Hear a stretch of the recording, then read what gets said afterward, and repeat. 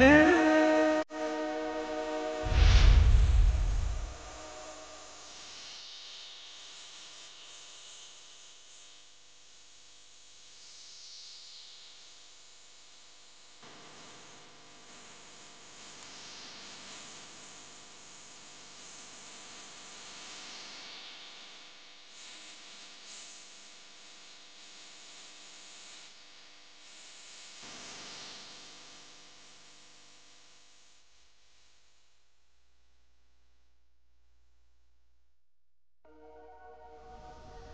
بسم الله الرحمن الرحیم الحمد لله رب العالمین و صلاة و السلام على رسوله الامین محمد و علی آله و صحبه اجمعین بیننده های عزیز و گرامی شبکه وسال حق السلام علیکم و رحمت الله تعالی و برکاته البته مفتخر هستیم که امروز با برنامه لحظه های آسمانی خدمت شما عزیزان قرار داریم و مهمان جناب دکتر نور محمد عمرا هستم. ما در این برنامه با شما. سلام های خود و شما بیننده های عزیز را خدمت جناب دکتر عمرای عزیز تقدیم نموده ایشان را خوش آمدید می‌گویم. خیلی خیلی ممنون استاد رحیمی عزیز. بنده هم عرض سلام و وقت بخیر دارم خدمت همه شما عزیزان در شبکه جهانی وسال حق و خدمت تک تک شما بینندگان عزیز. و از این که باز خداوند متعال فرصتی داد تا در خدمت شما باشیم در این لحظه های آسمانی کمال سپاس را از خداوند متعال داریم. به این امید که خداوند منان همه اطاعات و عبادات ما رو قبول درگاه خودش قرار بده و ان الله این رمضانمون یک رمضانی باشه که در روز قیامت بتونیم به اون افتخار کنیم. ان شاء الله آمین یا رب العالمین جزاکم الله خیرا تشکر جناب دکتر از این که بنده را به حیث میزبان خودتان در این برنامه قبول کردین شرف بخشیدین جزاکم الله خیرا تشکر سلامت باشین موضوع امروز ما البته در برنامه لحظه های آسمانی گنجینه رمضان هست به مناسبت همین موضوع البته از سراغ در گوگل داشتم چند لحظه قبل. کتابی در کتابخانه عقیده البته به نظر خورد بالکل با همین عنوان بود یعنی گنجینه رمضان. فکر کردم شاید کتاب ناشنایی باشه اما بعدا متحیر شدم وقتی که دیدم از تعلیفات جناب شما بود. کتاب خیلی جالب و زیبایی بود. البته خیلی طولانی هم بود. میشه بر ما بگوین که گنجینی رمضان یعنی چی و شما در او کتاب با عنوان گنجینی رمضان که نوشتین چی مواردی را در او کتاب درج کردین؟ چی هست؟ بسم الله الرحمن الرحیم. الحمد لله و صلاة و سلام علی حبیبنا و مولانا رسول الله و علی آله و صحبه و من والاه. البته من باید از شرکت گوگل تشکر کنم که همین کتاب رو به خدمت شما رسوندن و کمال سپاس رو از شما هم دارم که در کمال تواضع این کتاب رو ورق زدید و الا اندیشه و عقل و درایت شما بالاتر از نوشتارهای شاگردانی مثل ماست.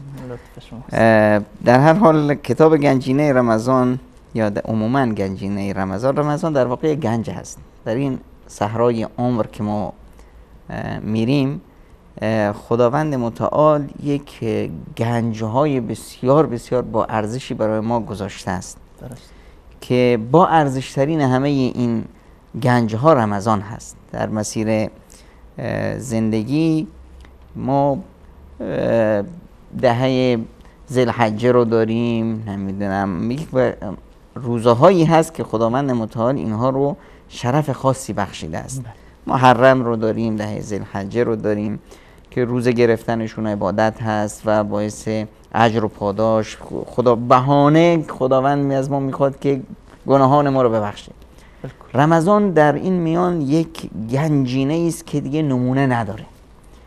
و در خود همین رمضان می‌بینیم که در داخل این گنجی که ما پیدا می‌کنیم در مسیر یک گنجی هست که دیگه هر آنچه که ما تصورش نمی کنیم رو خداوند متعال در اون به ما میده. درست. به یک بهانه انگار که خداوند در به یک بهانه است که ما رو ببخشه ببینید وقتی رسول اکرم صلی الله علیه و سلم خودشو تعجب می‌کنن. میفرمایند رقم انف امرئن رقم انف امرئن هلاک باش بدبخت و ذلیل باش خار باشه اون فردی که گفتن کی یا رسول الله؟ فرمودن من ادرک رمضان فلم یغفر له. اون کسی که رمضان اومد و در رمضان بود باز هم بخشیده نشد. بخشیده نشد. یعنی این انسان چه انسانی است که در همچنین فرصتی همچنین فرصتی که خداوند از هر که در میگذره. یا ابن آدم لو اتیتنی بقراب الارض خطایا لا, لا اتیتک بقرابها مغفرت. ولا ابالی. در حدیث قدسی است که خداوند متعال به انسان میگه که ابن آدم اگر تو به پری آسمان ها و زمین هم برای ما بیایی با پیش من با گناه. بالکل ثم استغفرتنی. بعد از اون دست نیاز و زاری پیش من دراز کنی. لغفرت لک. از تو در میگذرم. ولا ابالی. برام هیچ مهم هم نیست که چقدر گناه کردی چقدر و رحمتی وسعت کل شی. الله. رحمت خداوند همه چیز رو در بر می‌گیره. بعد میایم رمضان. من قام رمضان ایمانا و احتسابا غفر له ما تقدم من ذنبه یعنی انسانی که آمده است تا رمضان رسیده است. ایستگاه در این گنج رسیده است. قبل از این چقدر فقر و بدبختی داشته است؟ ببینید ما اگر واقعا این یکی از حکمت های الهی است که ما حقیقت رمضان رو با چشم نمی‌بینیم. اگر حقیقت رمضان رو با چشم می‌دیدیم بخشش و کرم و سخاوت الهی رو در رمضان با چشم می‌دیدیم دیگه اصلا کاری نمی‌کردیم. ما تو مبهوت میمونیم. آه همچین که انگار دیگه تا رمضان تموم می‌شد ما خودمون رو جمع نمی کردیم این همه خداوند در این ماه پرفضیلت به ما میده. مثل یک انسانی که گنج بزرگی رو یک ها پیدا کنه شاید سکته کنه. خب؟ به کسی بگن که او این یک آدم فقیری بیچاره یک ها میلیاردها بهش بدن. برای همین است که به کسی رو می‌خوان چی چیزی بدن مقدمی چینی می‌کنن که آقا اگر به شما یک میلیون بدن چی میشه؟ خوشحال میشم. خب ده میلیون صد میلیون خب به این صورت به آمادگی می‌گیرن. ما در یک همچین گنجی هستیم که خداوند متعال هر لحظهش من صام رمضان ایمانا و احتسابا غفر له ما تقدم من ذنبه روزه گرفتن در رمضان دیگه الان شاهکار نیست. همه جامعه روزه است. بالکل چون که همه جامعه روزه است حتی آدم گناهکار هم روزه است. روش نمیشه مگر اینکه روزه باشه. این همین که فقط نیت کرد که این روزه خب و اصلا روزه هم بدون این نمیشه. روزه که عبادتی هست که ایمانا و احتسابا باید باشه با خودش هست. مگر یک انسانی که دیگه خیلی شیطان باشه. و هر هر انسانی که روزه می‌گیره ایمانا و احتسابا هست.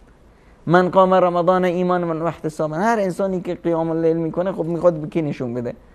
ایمانا و احتسابا هست. غفر له ما تقدم من ذنب. بعد خب باز در همین گنج یک آلماس های خاص هست. یک چیزای بسیار بسیار با ارزش تر که می‌بینیم مثلا ده دهه اخیر رمضان. بله. باز در دهه اخیر رمضان لیلت القدر. همه رمضان از دست رفت همه زندگی از دست رفت. من قام لیلت القدر ایمان و احتسابا. غفر له ما تقدم من ذنبه یک شب. یک شب. و قیام اصلا در عرف توحیدی قیام چی هست؟ هر کسی نماز شبش رو در جماعت خان بله. نماز عشا رو. نماز صبح رو در جماعت خان کتب له قیام لیل. ببینید خداوند متعال می‌خواد انسان رو ببخشه. الان این انسان یک بهانه بده. این رمضان همین گنج است. در این رمضان ما دچار یک نوع تغییر و تحولاتی میشیم. دنیا به اصلا چهره دنیا برای ما فرق خواهد کرد. دید ما از دنیا فرق خواهد کرد. مهره های بزرگ با ارزشی که در این گنج هست اینها رو اکتشاف می‌کنیم. خودمون رو می‌شناسیم خدامون رو می‌شناسیم پیام خدامون رو می‌شناسیم. ببینید کسی که به صلاح یک پیامی از طرف پدرش مسافر هست بله. یک نامه ای میاد. خب هر چند مدتی می‌بینید این نامه رو می‌خونه گریه می‌کنه شوق پیدا می‌کنه. آی بابا دو سال پیش این نامه رو برای من نوشته بود حالا کجا از فلان هست؟ الان خداوند متعال برای ما قرآن رو فرستاده.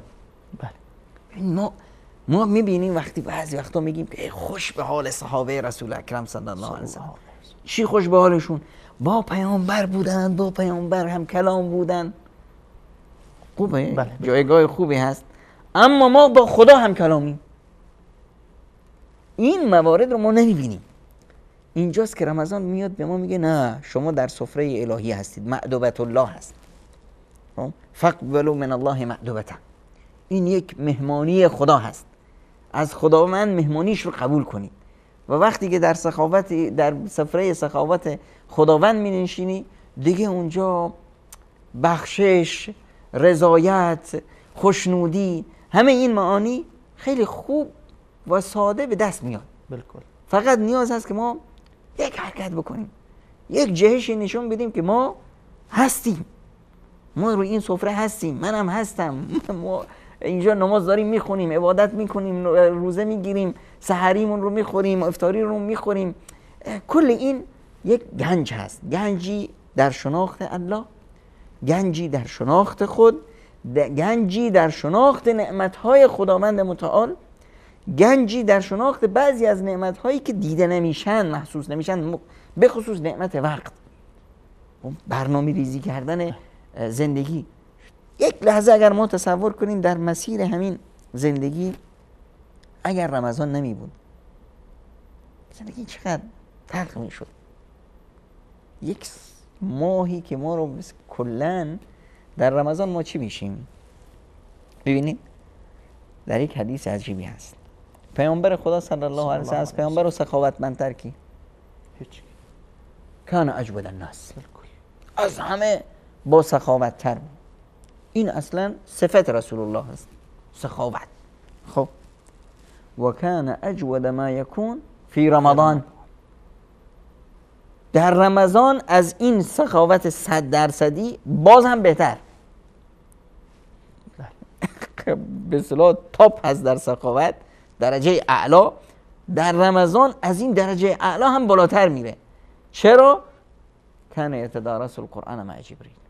با جبریل می نشست قرآن میخون چی میشه وقتی که ما قرآن می‌خونیم؟ ما وقتی که در رمضان در بزرگترین ارزش رمضانی که همون قرآن باشه رو می‌گیریم به دست یکو دیگه ما اون معانی فقر معانی پوچ بودن معانی که من هیچی ندارم کلا از تصور بیرون میره ببینید یک انسان فقیر رو, رو تصور کنیم.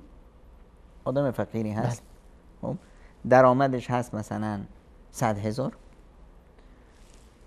مخارجش هست دویست هزار.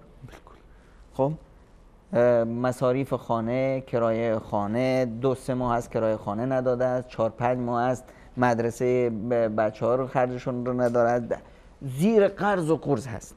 ببینید چه حالت ذلت و بدبختی داره. الان کسی میاد به همین فرد میگه که خوش به حال شما. شما خبر نداشتید یک امه ای داشتید در فلان کشور. این امه شما میلیونر بود. الان وفات کرده است. هیچ کسی ندارد مگر شما. این کشورها به اصطلاح کشوری که ایشون زندگی می‌کرد لندن مثلا اومدن برسجو کردن دیدن که بله شما آقای فلانی تنها وارث ایشون هستید. الان 100 میلیارد دلار تو حساب این هست. به شما محول میشه. این تحویل حساب یه شش ماهی طول می‌کشه. این فرد هیچ پولی به دستش نرسیده. فقط امیدوار هست که بعد از شش ماه پولی می‌رسه. الان ببین مسیر زندگیش چطوری هست. الان دیگه اون ذلت خاری رو نداره. میره تو خیابونا میگرده بهترین ساختمان رو پیدا می‌کنه میره میگه آقا صاحب این ساختمان کی هست؟ من می‌خوام اینو بخرم. اه؟ شما که کفش درست حسابی نداری لباس درست حسابی نداری میره بهترین به ماشین رو انتخاب می‌کنه که این رو بخرم کل چرا؟ چون یک امیدی داره. امیدی بله. که این امید الان تو دستش نیست تحقق پیدا می‌کنه. الان تصور کنید ما و این گنج بزرگی که خداوند متعال به میده. این گنج همش امید هست. همش تغییر و تحول هست.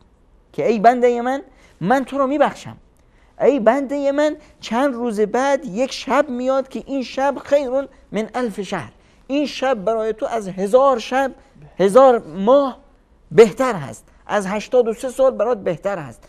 یعنی الان من بنده وقتی می‌بینم که خداوند متعال اینطور به من میده باید کل سیستم من عوض بشه.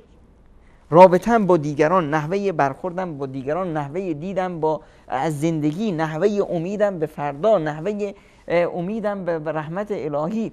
همه اینها فرق میشه. من همون انسانی هستم که یک امید بسیار بزرگی در حالتی که به سلام بار گناه اون رو کمرش رو خم کرده بود. چهره زندگی به روش تاریک شده بود. فکر می‌کرد که دیگه من غرق شدم. اینجاست که خداوند میاد دروازه رمضان رو به زوش باز می‌کنه. این گنج رمضان هست و این تو و این گنج. بگیر هر چی می‌تونی از اینجا بردار. الله اکبر. تشکر جناب دکتر. از معرفی یک گنج بزرگ الهی که به صورت رمضان برای امت اسلامی خداوند این را فرستاد و تا از این گنج ما هرچی می‌تونیم قسم که شما گفتین برداریم. حالا ما میاییم به این گنج می‌رسیم. خب رمضان هم الحمدلله فرا رسید. روز چهارمش هست فکر می‌کنم. از این گنج می‌خوایم چیزی برداریم. درست است؟ هر کس طبق توان خود از این گنج میبردارد. بزرگترین چیز یا بزرگترین آلماس یا طلایی که ما باید در تلاش او باشیم از این گنج برداریم چی است؟ اولین و بزرگترین چیز این است که ما این گنج رو ببینیم. این رو احساسش کنیم. دیدیم می‌بینیم. احساسش کنیم. چطور ما این رو احساس می‌کنیم؟ ببینید این تصور ما باید عوض بشه. ما مثل یک انسان مثل یک ماشین هست مثل یک موتر یا ماشین هست. درست. این چطور حرکت می‌کنن؟ اول یک چیزی در ادراک انسان میاد. در ذهن انسان میاد. بله. این کار عقل هست بعد که در ادراک و ذهن انسان آمد یک واکنشی در خود انسان به وجود میاد. انگیزه ای به وجود میاد برای حرکت. این کار قلب هست. بعد از اون خود جسم انسان به حرکت در میاد که این کار رو من انجام بدم. این کار جسم هست. اما همه اینها باید مدیریت بشه. مدیریت عقل قلب و جسم توسط روح انجام می‌گیره. روح انسان هست که این روح اگر ساخته شد بعد از اون همه اینها بر مبنای اون مدیریت روح حرکت می‌کنن. درست. ببینید ما تصور بکنیم ما در یک مشکل بسیار بسیار بزرگ قرار گرفتیم. حالا مثال واقعی. رسول اکرم صلی الله علیه وسلم با صحابه از احد برمیگردن. برگشتن به چه صورت؟ هفتاد نفر شهید دادن. بهترین بله. شخصیت ها رو از دست دادن. بیشتر صحابه زخمی هستند خسته و کوفته. و یک ضربه بسیار روحی شدیدی بهشون وارد شده که در ظاهر شکست خوردن. حتی خود پیامبر صلی الله علیه و سلم نیز زخم برداشتن رسول اکرم صلی الله علیه و سلم زخمی هستن آمدن به مدینه منوره. فرداش میگن حرکت. خب؟ فردا حرکت می‌کنن با کی؟ با همین لشکر زخم خورده. زخم خورده و خسته و پریشان. میرن به این منطقه به نام همراه الاسد در نزدیکی مدینه منوره. اونجا که می‌رسن دشمن پیام میفرسته که ما داریم میاییم. افرادی از اون طرف میان میگن که ان الناس قد جمعوا لكم فخشوهم وای! دشمن با تمام قدرت و افرادی دیگری رو جمع کرده نیروی دیگری رو جمع کرده می‌خواد به مدینه منوره حمله کنه. الان اگر ما باشیم با دید قبل از رمضانی با دید میگیم که دیگه ما که با نیرو و قدرت کامل خودمون رفته بودیم در احد و دشمن با نیروی کمش اومده بود ما شکست خوردیم. الان باز نیروی اضافی گرفته. و ما نیروی زخم خورده, زخم خورده هستیم. هفتاد تا از پهلوانمون رو شهید دادیم. ما از نظر بسیار چیز ضعیف هستیم و قدرت دشمن دو چندان شدن. ببینید چی هست؟ تعبیر قرآنی رو. ان الناس قد جمعوا لكم فخشوهم فزادهم ایمانا. اینو داره خداوند شهادت میده. فزادهم ایمانا و قالوا حسبنا الله و نعم الوکیل الله اکبر. گفتن که ما خدا را داریم چه کم داریم؟ هیچ. این دیدیه که دیدی یک مؤمن باید باشه. چرا؟ نصر از پیروزی از جانب خداست. اگر پیروزی از جانب خداست و من خدا رو در کنار خودم دارم خدای قوی و جبار رو دارم از چی میترسم؟ هیچ. پس بزرگترین و مهمترین این هست که ما اینجا رو عوض کنیم. بر مبنای عقل بیاییم خدامون رو بشناسیم. خدامون رو چطور می‌شناسیم؟ قرآن رو داریم. قرآن میاد به ما میگه که ان الله غفور رحیم. خدا غفور و رحیم هست. خدا بخشنده مهربان هست. خدا عزیز حکیم هست. خدا عقاب شدید هست. پس من الان یه خدایی رو می‌شناسم و بنده این خدا هستم. که لله الاسماء الحسنا اسماء خدا رو شناختم قدرت خدا رو در کون و مکان دیدم و فهمیدم که من بنده این خدا هستم. و این خدا از من هرگز غافل نمیشه. اون وقتی که دیگه مسیر زندگی دید من به زندگی همه چیز عوض میشه. اینجاست که دیگه ما بیاییم این معانی رو که فهمیدیم یک ترفندی اجرا کنیم که اون ترفند رو بذارید اسمش رو بذاریم ترفند نظری. ترفند نظری چه است؟ یک صحابه بود به نام انس ابن نضر.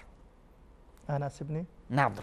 انس ابن نضر یک بازرگان بود. تاجر بود یعنی؟ تاجر بود. این بنده خدا در سفر تجارت بود که واقعی بدر رخ داده بود. وقتی اومد دید که تغییر و تحولاتی شده در مدینه. چی شده؟ ما رفتیم به مساف دشمن و دشمن رو شکست دادیم. ملائکه با ما بودن. من انس ابن نظر کجا بودم؟ من رفته بودم دنیا دنیا. این فرصت طلایی از دست من رفت. والله لئن یشهدنی الله معرکتا مع رسوله لیرین الله ما اصنع. این رو میگن ایمانی که دیگه به جوش اومده. این رو ما در رمضان می‌خوایم که اگر خداوند متعال به من یه فرصت بده که من در رکاب رسول خدا صلی الله علیه و سلم به مساف کفر برم اون وقت من خدا خواهد دید که من چه کار می‌کنم. الله اکبر. خدا خواهد دید که من چه کار این عاطفه است که میجوشه. ما باید بگیم که خدایا امسال رمضان رو نصیب ما کردی انشاءالله نشون میدیم که ما چی می‌کنیم؟ ما لایق این تحفه و این گنجینه بزرگ هست. از بخت قضا باز بنده خدا خب امروز فردا هیچ موردی پیش نیومد رفته است به تجارتش برمیگرده روز احد هست. برمیگرده می‌بینه که مدینه خالی است. بچه ها مردم کجا رفتن؟ فلان. میگه خبر نداری؟ چی خبر است؟ احد. مؤمنان رفتن به مساف کفار در احد. بار و تجارتش رو همینطور رها می‌کنه. از همونجا مستقیم احد. چه وقت می‌رسه؟ وقتی می‌رسه که شایع شده است. رسول اکرم صلی الله علیه و شهید شده است. مؤمنان بعضی هاشان شکست خوردند. نفسا شکست خوردند که بعد از رسول الله دیگه جنگ به چه معناست؟ زندگی چه معناست؟ بعضی نشستن گریه می‌کنن. میره اونجا می‌بینه که بعضی از صحابه معاذ فلان نشستن گریه می‌کنند میگه شما چی شده است میگن که رسول خدا صلی الله علیه وسلم شهید شده است میگه پس فقومو و موتو علامت علیه رسول الله. الله اکبر. بلند شید اگر رسول خدا شهید شده است شما چرا زنده اید؟ برید بر همون راهی که رسول الله جان داد شما هم جان بدید. بعد نفسی می‌کشه میگه وای خدای من من دارم بوی احد رو بوی جنت رو بوی بهشت رو از طرف احد احساس می‌کنم. مایی که خداوند به ما رمضان رو داد باید بوی جنت رو از رمضان احساس کنیم. اگر احساس نکردیم ما در قاعده نظری نیستیم. اینجاست که انس ابن نظر حمله می‌کنه یک تنه حمله می‌کنه به سپاه مغرور دشمن که دیگه غرور پیروزی اونا رو پر کرده بعد از اون از انس ابن نظر ما هیچ خبری نداریم. چی کار شد؟ به خدا نشان داد که چطور از دین خدا دفاع می‌کنه. بعد از خب صحابه خبر نداشتن که انس نه اصلا بود اول که نبود. بعد از اینکه شهیدا رو جمع می‌کنند فلان می‌کنند بعضی از صحابه میگن اه آخر وقت انس ابن نظرم اومد. اون کجاست؟ این ور اون ور بگرد انس ابن نظر نیست. در مدینه نیست. کجاست؟ رفتن یک جسدی رو پیدا کردن تکه تک هیچ معلوم نمیشه که این جسد کی هست. کی هست؟ اصلا معلوم نمیشه. از مسلمان ها هست از کافر ها هست. کی هست؟ تا اینه که خواهر انس میاد می‌بینه که بله انس در یکی از انگشتاش یک نشانی سر انگشت اینجا داشت. از این نشان فهمید که این برادر من است الله. لیرین الله اصلا حالا ما با این گنج رو که خداوند به ما داده باید بگیم که ما لیاقت این گنج رو داریم. رمضان هست به خدا نشان بدیم که ما لیاقت این گنج رو داریم لیاقت ارزش این گنج رو می‌دونیم و دیگه به خدا نشون بدیم که دیگه ما انسان قبل از رمضان نیستیم. نه در رفتارمون نه در خواب و خوراکمون نه در شیوه حرف زدنمون. حتی رمضان به ما یاد میده لئن بک احد او اشتمک فقل انی صائم انی صائم.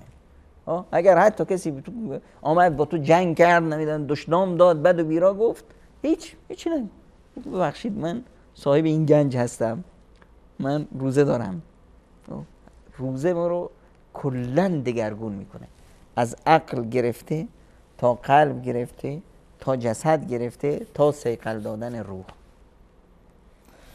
جزاکم الله خیرا تشکر جناب دکتر. اجازه بدین بریم با سراغ یک میان برنامه. بیننده عزیز یک میان برنامه کوتاه را می‌بینیم و با ادامه همین موضوع گنجینگی رمضان خدمت شما برمیگردیم. با سلام دوباره خدمت شما بیننده های عزیز و گرامی با برنامه لحظه های آسمانی. البته با موضوع گنجینی رمضان خدمت شما هستیم. جناب دکتر در ابتدا البته رمضان را به حیث یک گنجینه بزرگ معرفی کردن که خداوند برای امت اسلامی بخشیده است تا از این گنجینه هر کس به اندازه توان خود بردارد و استفاده کند. و سپس جناب دکتر گفتند که ما باید برای استفاده از این گنجینه عقل و قلب و جسد خود را باید در رمضان تغییر بودیم و برای استفاده از این گنج کلا آماده شویم. جناب دکتر ما تغییر خوردیم. عقل و قلب و جسد و با روح مشترک رو البته تغییر دادیم و آمدیم که از این گنجینه چیزی برداریم. چی برداریم؟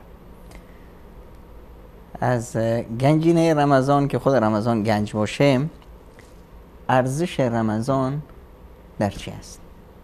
خود رمضان چرا رمضان شد؟ بله. این مقام و این منزلت رو از کجا گرفت؟ گرفت؟ خب همه رمضان مثل ماه دیگه. شب است و روز است و بالکل. اما چی؟ این شع این ماه یک ویژگی خاص داره.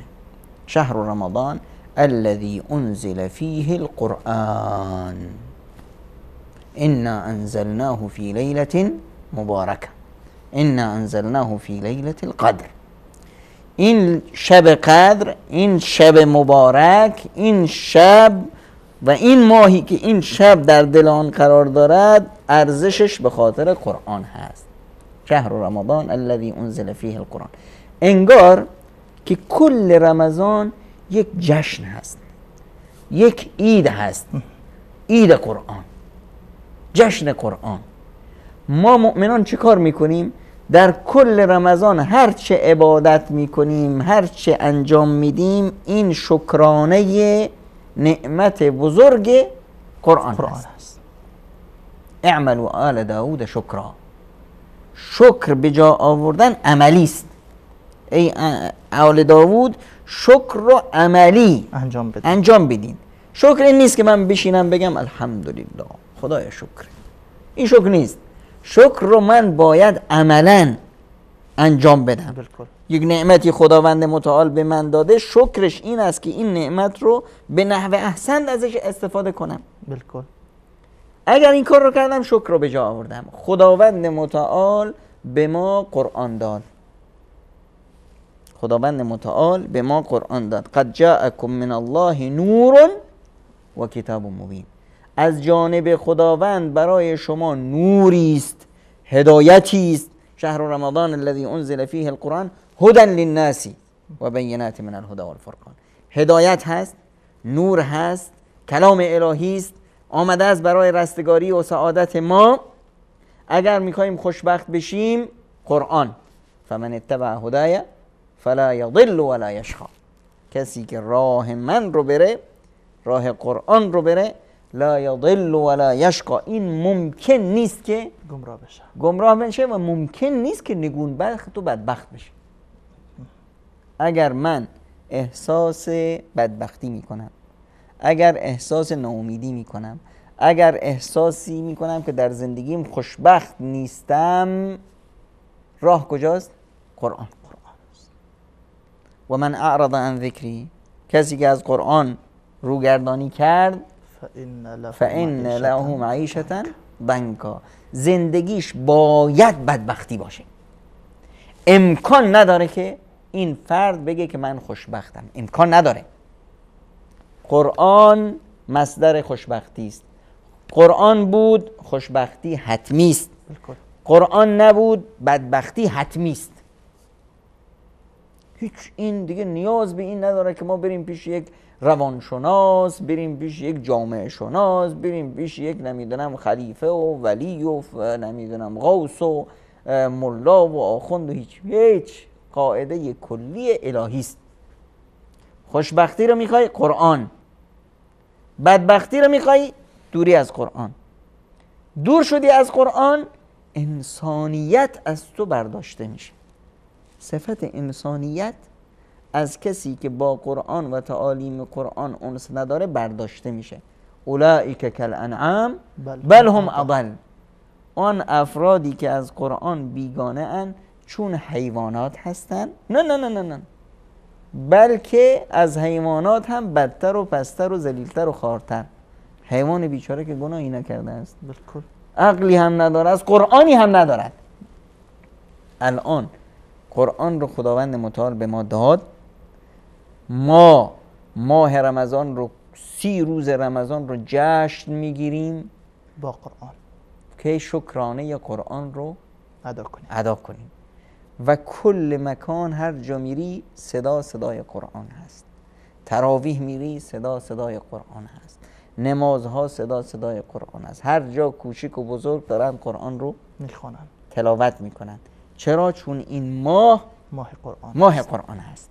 و این قرآن مصدر سعادت و رستگاری ماست. و خواندن این قرآن ما را عوض می‌کنه. تغییر و تحولاتی که ما می‌خوایم در زندگیمون به وجود بیاد در شخصیتمون به وجود بیاد مصدرش قرآن هست. این قرآن که, ابا... که به سلام کلام خداست و مایه رستگاری ما هست همین که ما فقط تلاوت کنیم در روز قیامت برای ما تق تق تق تق حساب اجر و پاداش نوشته میشه. نوشته میشه. به این که ما مثلا قرآن رو ختم کنیم نه. به این که نمی‌دونم یک سوره بخوانیم نه. به این که یک آیه بخوانیم نه. به این که یک حرف بخوانیم. یک حرف. برای هر حرف یک کلمه نه. یک حرف قرآن کریم ده تا اجر هست. پیامبر اکرم صلی الله علیه وسلم فرمودن که ده تا اجر. والحسنه بعشره امثالها الى 700 ضعف. خب، حتی بیشتر از این. و نمیگم الف لام میم یک حرف است. الف یک حرف است لامش یک حرف است میمش یک حرف است. گفتی قل هو الله احد قاف قل یک حرف است لامش یک حرف است. برای هر حرف قرآن انسان این همه اجر و پاداش می‌گیره. دیگه الان تصور کنید که ما در چه فرصتی قرار داریم و چه گنجی رو در واقع خداوند متعال در جلوی ما قرار داده است. واقعا محروم است و بیچاره است. اون کسی که از این گنج بزرگ الهی استفاده استفاده نگیره و بهره خودش رو نگیره. تشکر. و جزاکم الله خیرا. امیدوار هستیم که ما و شما و تمام بینده های ما از این گنج و خصوصا بزرگترین مهره که در این گنج شما گفتین هست قرآن کریم از او استفاده بکنیم. علاوه از قرآن کریم و چرخیدن در اطراف قرآن کریم در این گنج چیزهای دیگه هم حتما هست. چی است در این گنج یک فرصت هست. یک مهره هست که فقط شما در این بگید که چی می‌خوای. هر چه که می‌خوای خداوند به ما میده. یعنی نه اینکه مثلا قرآن رو داشتیم. در این گنج یه تلفن مستقیم هست رابطه مستقیم با الله که اون رو میگن نیایش. دعا و اذا سألك عبادی عنی فإنی قریب اجیب دعوت الداعی اذا دعا. اگر بندگان من از من جویا شدن من نزدیکم و دعای هر بنده ای که دعا بکنه رو قبول می‌کنم. ببخشید جناب دکتر. اجیب دعوت الداعی اذا دعان هر وقتی که بنده من دعا کرد من قبول می‌کنم. خاص کردن این در داخل گنج رمضان. هدفم دعا هست البته نیایش. این که در همه وقت است. خاص کردن آن در رمضان چه ربطه داره؟ افرادی هستند که دعایشان هرگز رد نمیشه. و یکی از این افراد لسائم. لسائم. فرحتون لا ترد. در برای روزدار یک فرصتی هست یک دعایی هست که هرگز امکان نداره رد بشه. رد بشه. و روزدار فرصت شبهای رمضانی که یک شبهایی است که همه دنیا زنده است. خب؟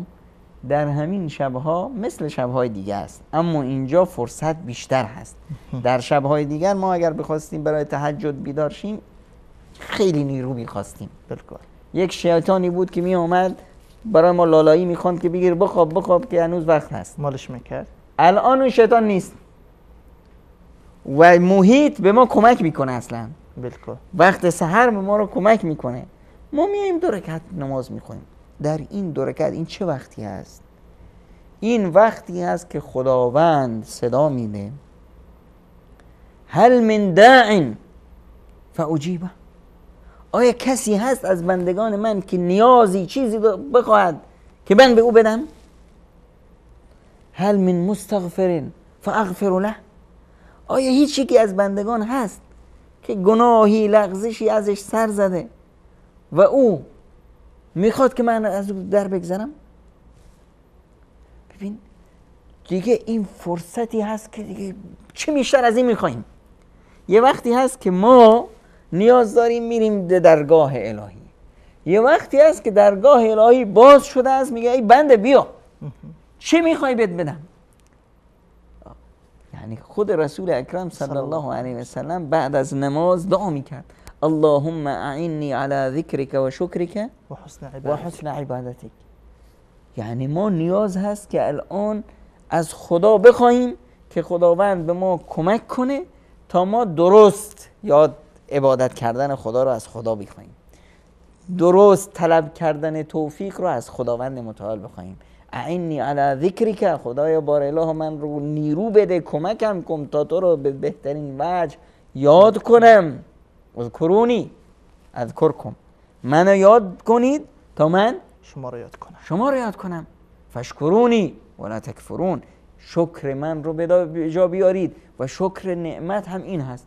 که الان خداوند متعال به ما این رمضان رو به عنوان یک نعمت بسیار بزرگ داده است ما از این نعمت چطور بهترین استفاده رو ببریم؟ چطور از این نعمت و این گنج خاص دعا که همیشه هست. بالکل. همیشه هست. اما در رمضان وقتی هست که دیگه این دعا مسیرش معین هست. دروازه های بهشت همه باز. دروازه های رحمت الهی همه باز. دروازه های خشم الهی همه بسته. دروازه های جهنم همه بسته. شیطان در قل و زنجیر.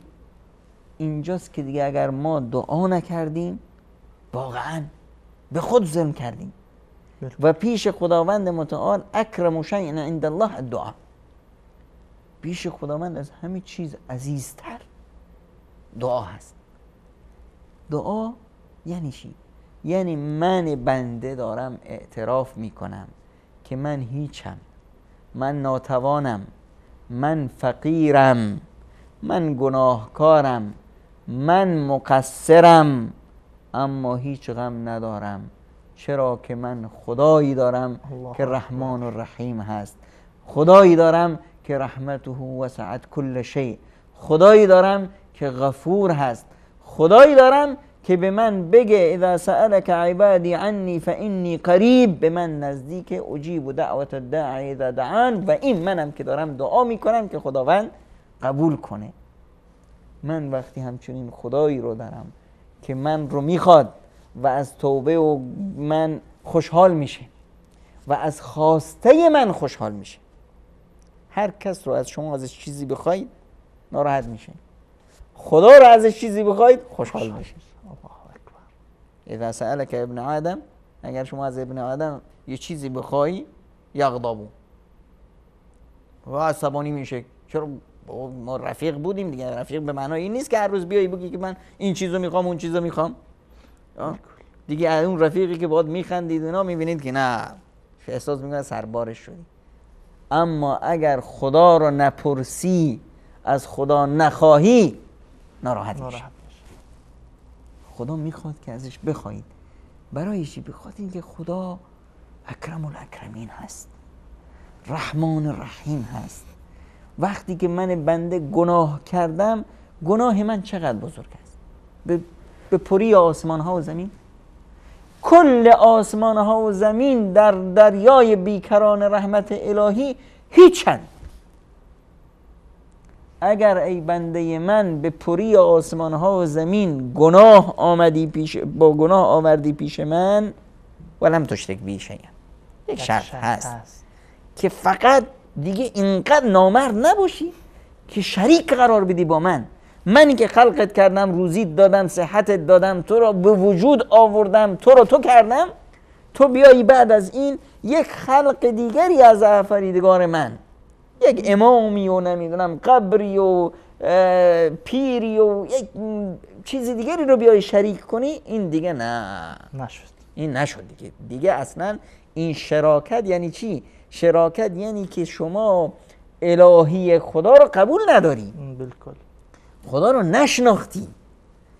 وقتی که تو داری میگی روزانه ایاک نعبد و ایاک نستعین این تنها و تنها یا الله از تو استعانت طلب می‌کنیم و تنها و تنها تو رو پرستش می‌کنیم عبادت می‌کنیم.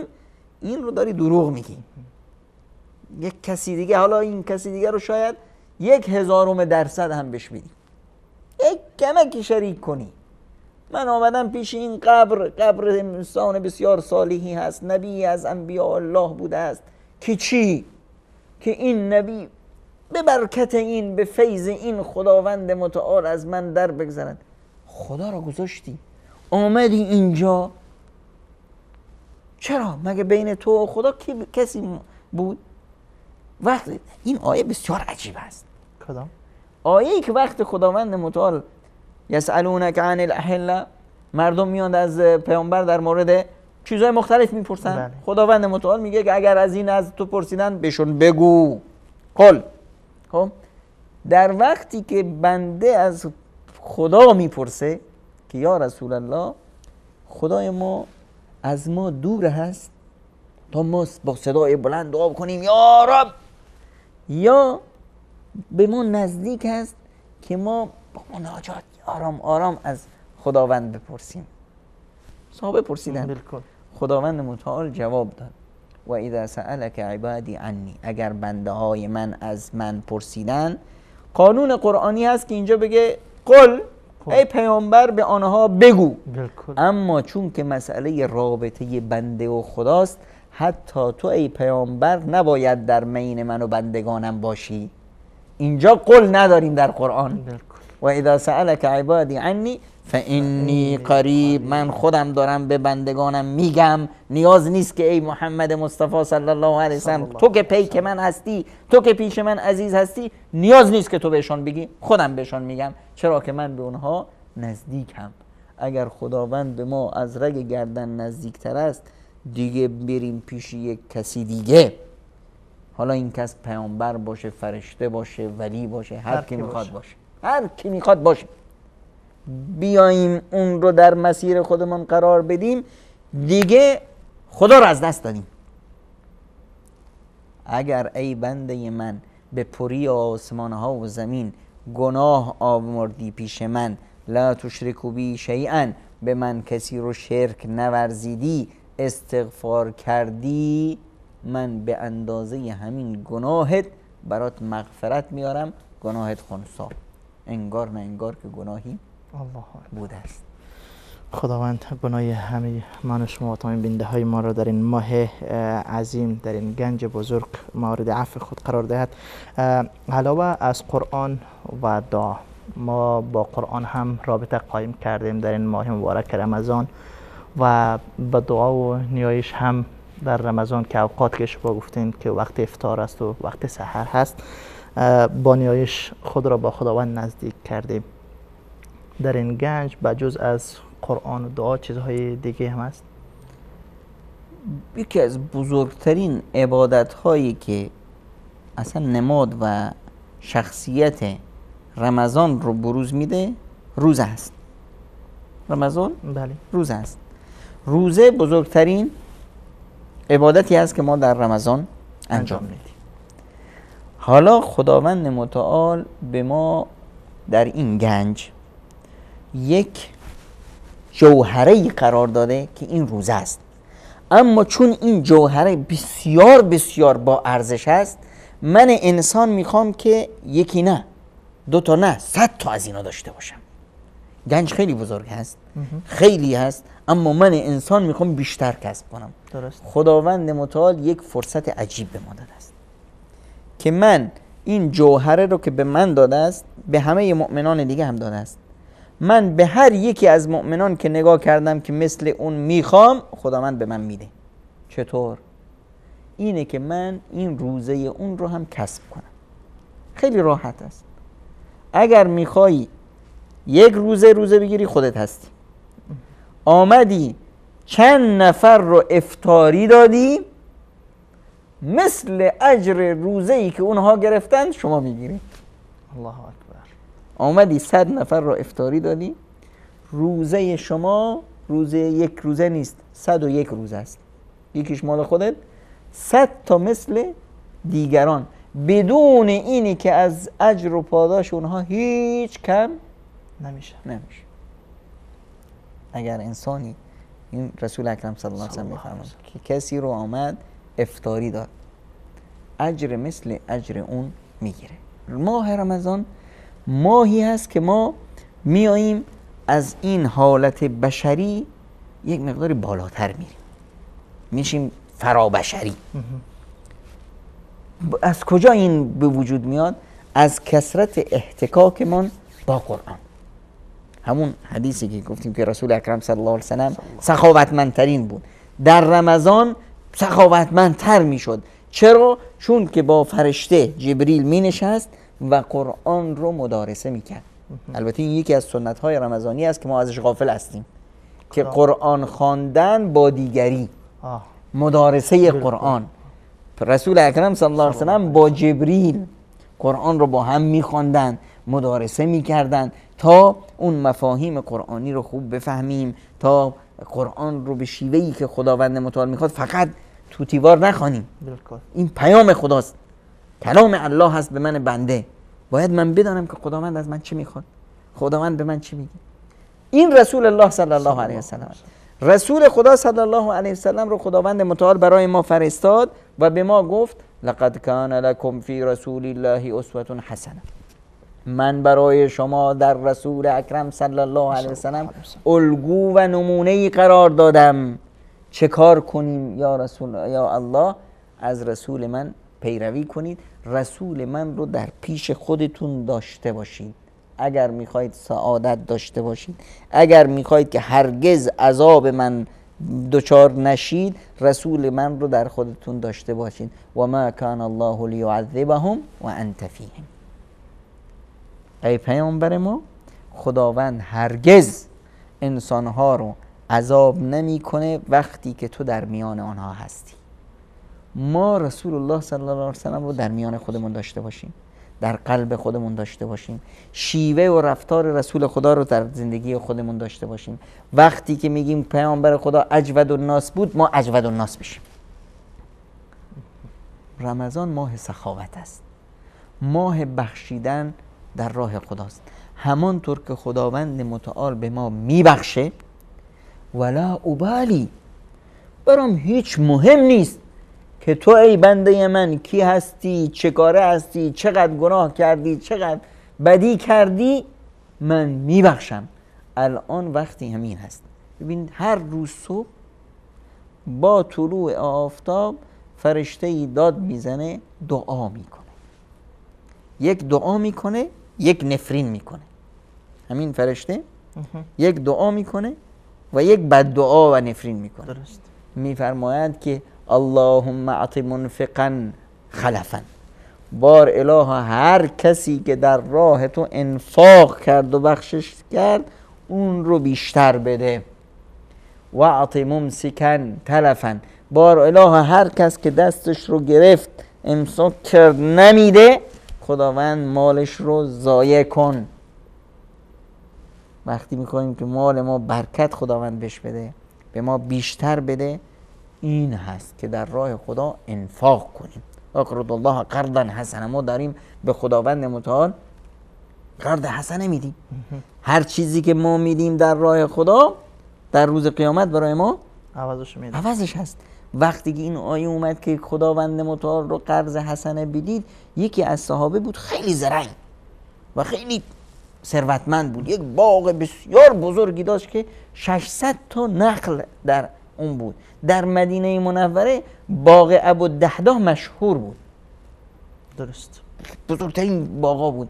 تا این رو شنید رفت پیش رسول اکرم صلی الله علیه وسلم. دست گشاش در دستش که یا رسول الله من باغم رو قرض حسنه دادم به الله هم.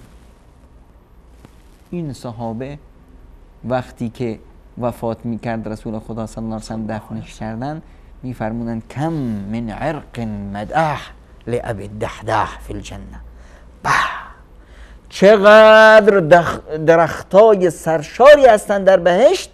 برای ابو دهدا انتظارش می‌کنن وقتی که ما در راه خدا بدیم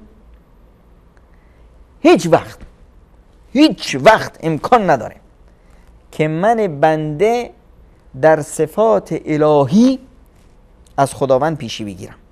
امکان ندارد من واجبم هست وظیفم هست که صفات الهی رو عملش کنم. خداوند بخشاینده مهربان هست من باید بخشاینده مهربان باشم. اما هرگز نمیشه ممکن نیست که من از خداوند پیشی بگیرم. اگر من در راه خدا دادم خداوند ده برابر صد برابر هفتصد برابر و احیانا بیشتر به من بنده میده. و این ماه ماهی است که دیگه فرصت است. غنیمت است. خداوند نصیب و توفیق بوده که از این فرصت البته استفاده بکنیم. خب ما البته در آخرین دقایق برنامه هستیم. فقط دو دقیقه از وقت ما مانده است. اگر کدام چیز دیگه کم و بیشی در گنج اگر مانده فقط اشاره کنین که چی است رمضان یک گنجی هست که شاید تکرار نشه. شاید خیلی از عزیزانی بودن که در پیش ما بودن. سال گذشته در کنار ما بودن. امسال نیستن. بله.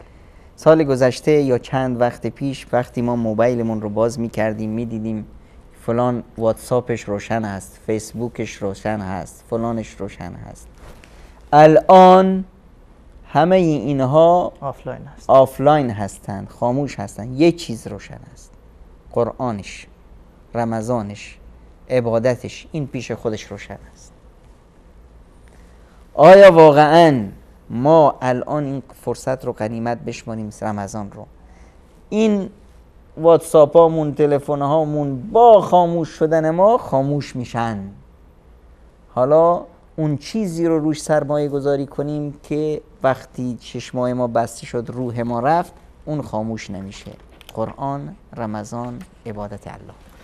جزاکم الله خیرا تشکر. جناب دکتر استفاده کردیم. بیننده های عزیز امیدوار هستم که همه من و شما بتوانیم از این گنجینه بزرگ الهی که رمضان هست و از این فرصت هایی که خداوند متعال برای ما شما عنایت نموده است استفاده وافر ببریم. همه شما از را به خداوند یک تا یگانه میسپارم. الله یار و مددگارتان. و سلام علیکم و رحمت الله تعالی و برکاته. جزاکم الله خیرا الله بارک الله فیکم.